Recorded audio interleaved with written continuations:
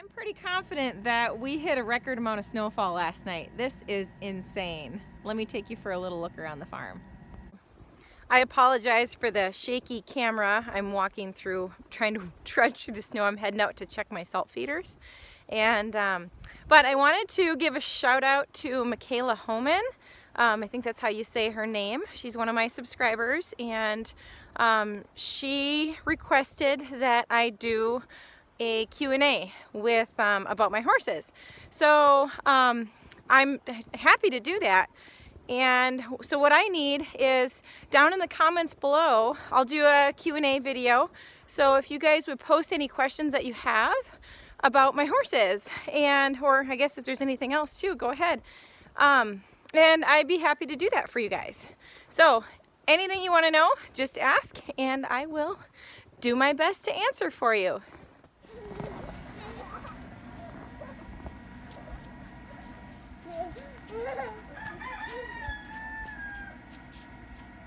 The snowbank is over his head. Look at Stella! she just came blasting out of the snowbank by Ona. Poor Ona can't see anything. Huh? Ona can't see over the snowbank. Ona's right there in the middle. You can just see her ears sticking up over the top. it was another dog. No. She she watches over that gate every day. The trees look like diamonds. They're so beautiful.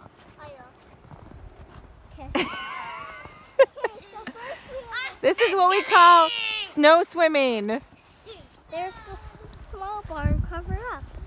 Yep, this is a lot of snow. We got like 15 or 9 inches.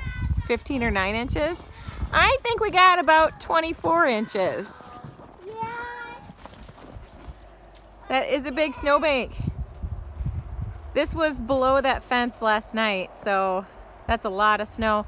And usually this all right here um, is pushed way, way, this has never been this close um, before. It's usually pushed way back. Well, there's my walkway to the arena. Porta potty needs to be shoveled out. As Stella just showed us. My door needs to be shoveled out. Trailers are a little bit covered. We could get those out if we needed to though, so that's always important to make sure that you can get to your trailer if needed. Oh my. Yeah. That's a lot of snow.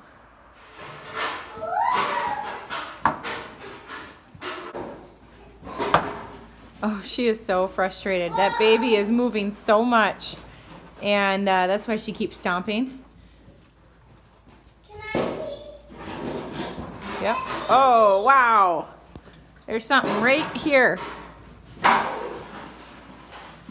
Oh! Hold on, guys. Where are you? I'm in with Nika. What's wrong?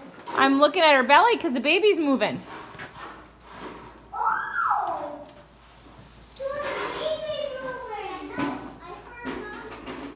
Oh, wow.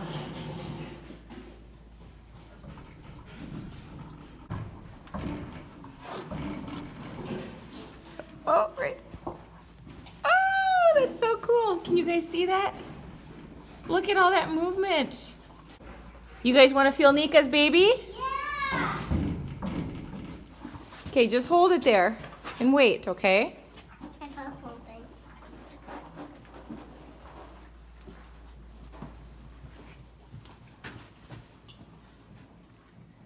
You guys feel it moving? Not even Move your hand down a little bit, Tove. Right? Right here? I can feel it kicking. You can feel it? Isn't that cool? It's like a little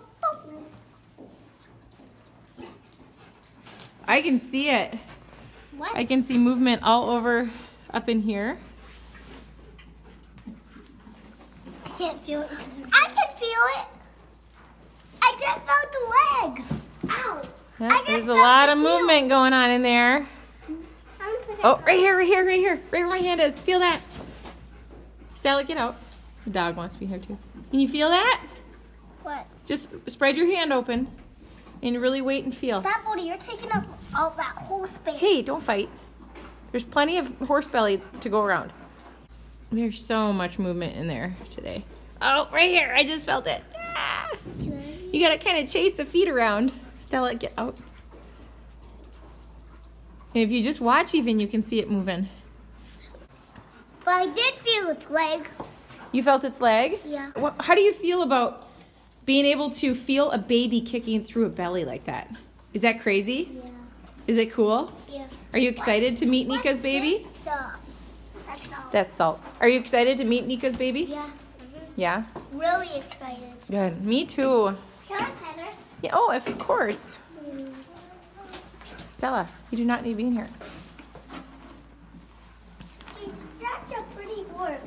She's And so pretty. looks- And her, it looks like she's golden. She does look golden, hey? Yeah. Okay, we have a little bit of shoveling to do. Yeah, a lot There's a lot of shoveling. This is what Sally does when she gets frustrated is she'll back up to the corner of the stall and then come forward and then keep doing that. So watch, she'll come she'll come forward, lift her head, and she'll back up and then she'll come forward and lift her head and so on and so on. Sally, I'll get you out of here.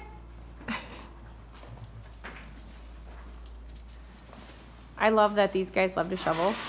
I hope they continue to like to shovel because that'll be really handy when they're a little bigger. For now, we just go with it. Yeah, take that snow.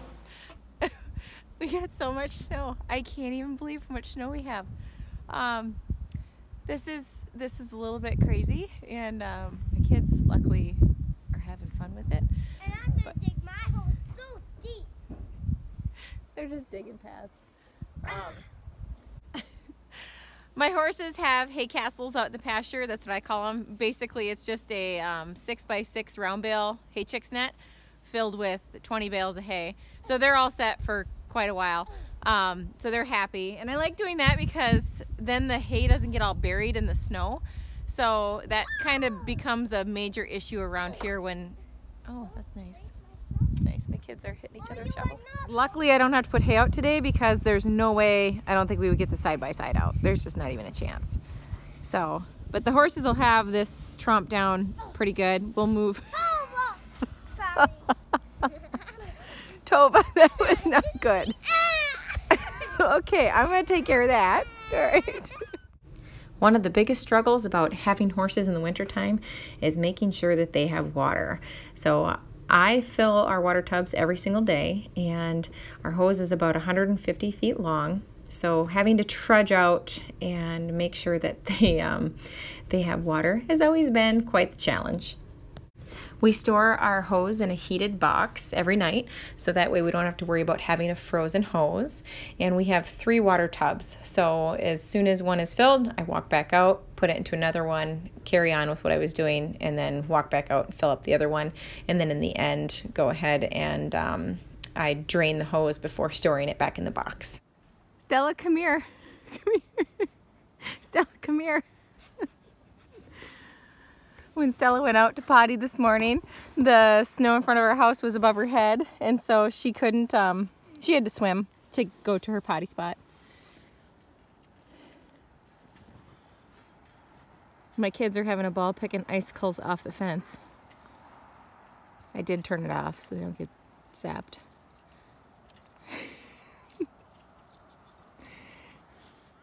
I absolutely love my insulated tub boxes.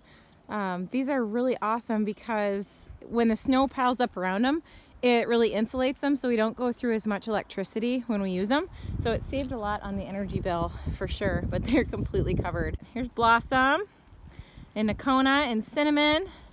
I'll come in to see what's going on. Hey girls. So a question that I have is for those of you who live in areas that get snow, what I want to know is what's the most snow that you get at one time? Um, you know, like today we we got at least two feet of snow last night, is my guess. I would say, I'd say at least a solid two feet, maybe a bit more. Well, I came over to check on the salt here, and Muffin is in it. Oops. You slipped on a frozen horse turd. Yeah, we got lots there still. Good girl, Muffin. Keep eating the salt. Muffin's got some pretty serious, um, check out the snowballs dangling on her belly. Hi, bear. These boys over here are playing and having a good time. There's Diego. Here he comes. Oh, there they go. It's so fun to watch them. I think they really do have a good time. Muffin's in my pockets. She's like, hi. the poor minis rely on everybody else to pave a trail for them because this is such a, it's so deep. I mean, these hay boxes were out of the ground two days ago. So we got a lot of snow. So I probably won't be using those for a while. Hi, Rosie. Lucky and Bear are always playing and Blossom is sort of the peacekeeper of the herd, so she likes to wander over and make sure that they're not getting too rowdy. She wouldn't want anybody to get hurt. That's just kind of her that's just kind of her personality. She likes to make sure everybody's okay. As soon as my water tubs are filled, I unhook my hose and put it up through a roller in my rafters. And what this does is this makes sure that all the water drains out of it. And then just to be sure my hose doesn't freeze, I coil it up into a insulated and heated hose box that we made. And that has worked out really, really well. I've been using this for two years and I've only had my hose freeze one time and that was because of a, a malfunction with a um, with a light bulb. So I'm pretty happy with how this has worked out for me. If you would like to see more about how we water our horses in the winter, I have a video about the entire process and I'll go ahead and um, be sure to link that up on this video. Something that always happens on the north side of my arena is the snow blows in up the wall. Um, I don't mind this because we just drag it in and it helps keep the footing from being dusty. So this is Lila. As you can see, she's got a shaved backside. And um, I actually have video that will that I'm going to post soon that will explain all of that and what happened with her because it was kind of an ordeal. Um, so Lila and this is Jackson, and they are siblings. They're about eight months old, and they came from my parents' farm. Super friendly. So they've been in a couple videos, but I haven't really formally introduced them. So just know their story will be I'll be posting that at some point too. Stay tuned. If you enjoyed this video, please be sure to give it a like, share it with your friends. And uh, Annabelle says hi. She's gonna start licking me. oh, yeah, there she goes. Um, what was I saying? And don't forget to subscribe to my channel. I post weekly videos, several videos a week actually. I've been doing um, quite a few. And you guys got to know, I have um, pages and pages of video ideas. So I have so much to share with you. So please just keep checking back to my channel because I'll always have new stuff coming. Well, time for me to put the camera away and start shoveling. Thanks so much for watching. Here's Floyd.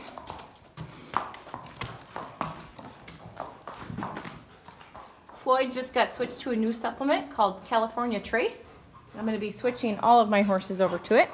And um, we have, basically, we have very high iron in our area. And um, a lot of the supplements and grains and everything contain iron as well. So this was a supplement that doesn't contain added iron. And uh, but Floyd is super fussy about his food. And if you make any change to his food, it takes him about a month to adjust. So, and that could even be just getting him, like if he runs out of his supplement for a couple days and then gets a new bag, he won't eat it. So you gotta slowly add it back into his diet.